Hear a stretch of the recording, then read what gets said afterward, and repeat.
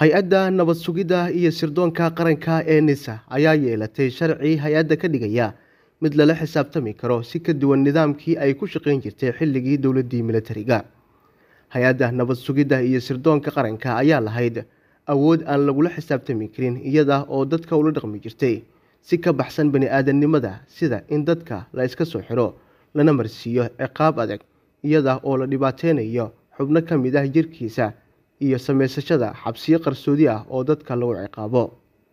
Tani ayaa hay'adda ka dhigtay mid dadkii mas'uuliyadda ay u xambaarsaneed ay ka didaan ayna u arkaan cadow aan u diirnaxaynin sida uu sharaxayo rofesor xasan sheekh hay'adda waxaa garab socday sameynta hay'adda iyo sameynta maxkamadda badbaadada dalka iyo qodobka dadka lagu dili jiray four. Ayay isku aadsadeen marka waa wax u eg waxaan samaysanayaa ciidan anigu aan samaystay oo qaanuunka ay ku shaqeynayaan anigu aan qoray. Ila dastuurka mugtaa horey horey u dalaceen horey u tuureen ciidankaasoo awood u leh goob kasta iyo goor kasta iyo qof kasta oo soomaali ah inuu qaba karo haysana karo inta uu doono. Maxkamad baa haddana la sameeyey haddane oo maxkamadda national security court maxkamadda badbaadada qaranka loo bixiyey baa haddana la sameeyey.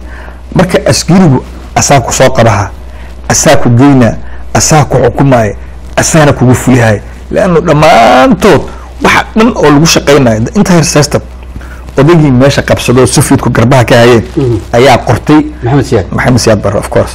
Marka hay'addu saasay ahayd marka markii maadaama dee wa- waad garan kartaa hay'adda oo k g d oo kaleeta ah habeenkii dadka u dhici jirtay adoo xaaskaaga la jiifo go- hoganaa lagaa soo hoos jiidaa indhaha lagaa xiraa adoo maybe generaal ahayd adoo maybe wasiir ahayd adoo maybe gudoomiye ahayd whatever waxaa doonta aho.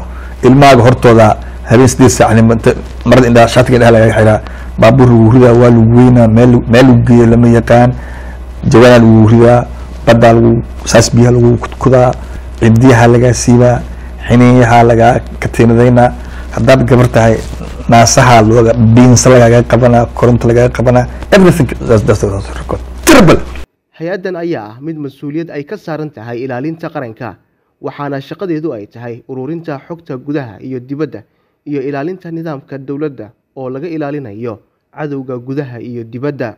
Dadka sida dhow ula socda howlaha hay'addan ayaa aaminsan in shaqada nisa loo isticmaalay si ka duwan mas'uuliyaddeeda oo waxaa lagu jujuubay fikirka dadka maadaama nidaamka hay'addu lagu aasaasay laga soo minguuriyey midowda soofiyeti ayna ku dhaqmi jirtay dowladdii militariga ahayd. Filifyada waa aragteen dad dhahaaya annaga waxaan xogta ka qarsan jirnay. Ninka qaabilsanaay fulinta heerda fulinta marka waa u jeedaa haddiiba marba xogti laga qarinayo oo public ay tahay oo qof kasta ogyahay oo adigu aad daawatay oo anigu aan daawado qof kastoo soomaaliya uu leeyahay ra'iisul wasaaraha xogta waa ka qarin jirnay. Waa u jeedaa marka inay tahay missionary ama ama ama adigu instrument instrument loogu talagalay sidii ay ahaan jirtay waagii k g b.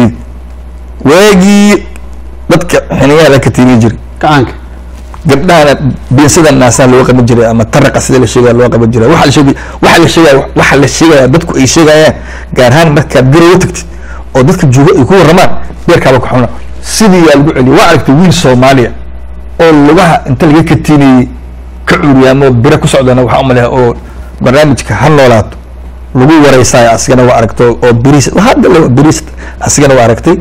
Dad noolaa ku maqan dhexdeeda. Wax yacni masiibatul masaa'ib yaa dhacay. Golaha wasiirada xukuumadda federaalk ee soomaaliya ayaa meel mariyey hindisa sharciyeedka hay'adda nabad sugidda iyo sirdoonka qaranka kaasi oo meesha ka saaraya nidaamkii qalabsanaa oo hay'addu ay ku shaqayn jirtay. Labada aqal ee baarlamaanka federaalk soomaaliya ayaa la marsiin doonaa waxaana sharcigan uu dhaqan geli doonaa marka uu saxiixo madaxweynaha laguna soo saaro faafinta rasmiga. Sharcigan cusub ayaa waxa uu hay'adda nisa ka dhigayaa mid uu sharcigu ka sareeyo garsoorkuna ka adag yahay dadka soomaaliyeedna aanay ka cabsanin sharcigan ayaa baabi'inaya xeer lambar afar iyo toban oo lagu sameeyey sanadku markuu ahaa kun sagaal boqol iyo toddobaatankii waxaana uu ka kooban yahay toddoba cutub. Waxaana sharcigan uu mamnuucayaa in nisa ay yeelato xabsiyo qarsoodi ah. Waxa uu xuquuq siinayaa dadka ay hay'addu hayso. Waxa uu ka mamnuucayaa xubin kasta oo ka tirsan hay'adda ama u shaqaysa in qof ay kula kacdo jirdil ficil naxariis darro ah ama bini-aadanimada ka baxsan. Waxa uu sharcigan uu reebayaa in la faafiyo xog aan la fasixin waxaana sharcigan sidoo kale uu xuquuq siinayaa shaqaalaheeda. Haddaba maxay ka dhigan tahay tilaabooyinka uu qaaday agaasimaha hay'adda nisa mahad maxamed salaad? Tanii markii uu yimid xafiiska waa kan mar kale rofesor xasan sheekh waxaana horta inaan u mahad noqo agaasimaha hay'adda sirdoonka qaranka mudane mahad maxamed salaad. Oo qabtay shaqo aan la qaban konton sano haddii la soco mahad salaad wuxuu dhashay markii nabi isku dalisime kadib u dhashay. Mahad salaad wuxuu dhashay markii nabi iskuda la sameeyey.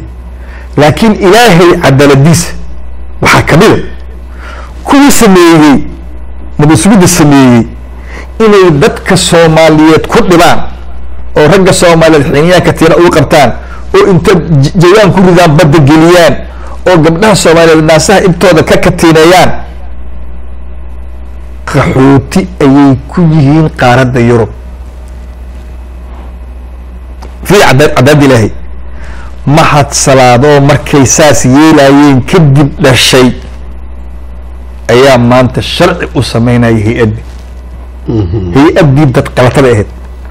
Konton sano kadib ayaa hay'adda nabad sugidda iyo sirdoonka qaranka waxay noqonaysaa hay'ad sharci ku shaqaysa oo aan ku xadgudbin bani aadamka meel loogu hagaagana leh lanala xisaabtami karo sida ay qabaanna dadka u dhundaloola arrimaha hay'addan.